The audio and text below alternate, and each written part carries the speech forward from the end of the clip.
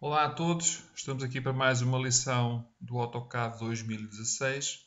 e esta lição uh, vai servir para falarmos sobre o, a ajuda, ou em inglês, help. Um, antes de vos mostrar uh, aquela que eu considero a fonte principal de ajuda quando é necessário, gostava de vos direcionar para este tab de entrada, portanto o tab Start, onde temos aqui já uma fonte de informação muito importante,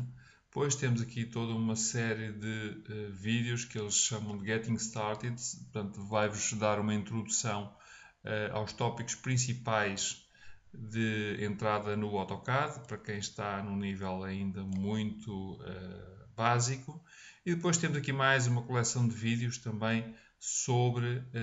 questões específicas. Pronto, há aqui uma série interessante de vídeos a consultar. Claro que depois há também uh, aqui algumas dicas, uh, aqui alguns recursos também on online e com certeza que todos vós, se, se procurarem um pouco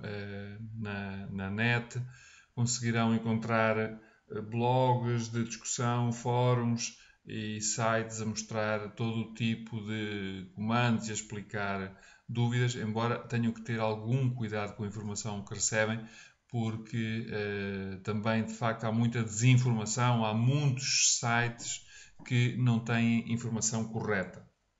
Bom, mas eh, além destas fontes possíveis de informação em termos de ajuda, existe o, aquele que eu considero a fonte principal e mais eh, importante de ajuda, que corresponde a este íconezinho aqui assim, que nos permite uh, ter acesso ao fecheiro help do software. Isto chama-se Info Center.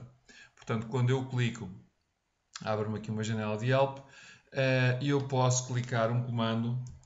por exemplo, vou clicar o comando line, vou fazer enter, podia depois, claro, que filtrar isto por alguns modos, não, é, não, não acho que seja particularmente interessante neste momento. Um, mas sob o comando linha aparece-me aqui uma, uma ajuda onde me é mostrado uh, uma descrição daquilo que o comando faz. Uh, aparece-me aqui uma pequena infografia sobre a ordem de clique para fazer para executar o comando e quais são os prompts, portanto, quais são as mensagens que vão surgir na linha de comandos e o que é que cada uma delas pretende do utilizador.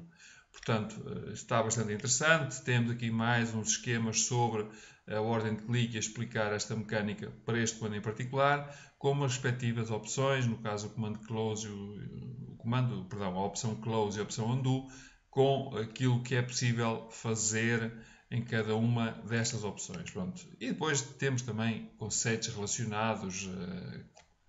não só com o comando, mas coisas que andam um bocadinho ao redor, e é a mesma coisa para tarefas. Um, penso que isto, uh, na minha opinião, deve ser um, a fonte principal de todos vós em caso de necessidade, porque este fecheiro help corresponde de facto à informação oficial da Autodesk, portanto a informação que está revista está correta, uh, ao contrário uh, daquilo que podem encontrar uh, pela net.